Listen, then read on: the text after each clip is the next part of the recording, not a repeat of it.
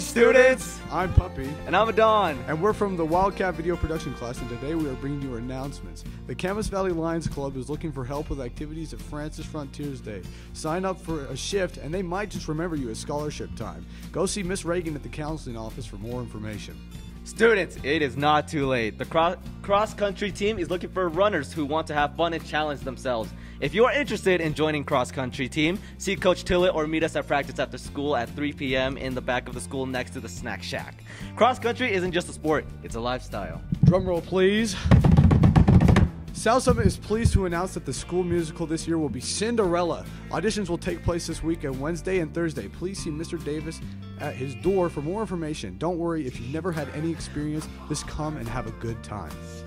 Thursday of this week, we will have a fancy night for volleyball, and Friday night, we will have a beach night for football. Start prepping your outfits Thursday and Friday. I'll see you there.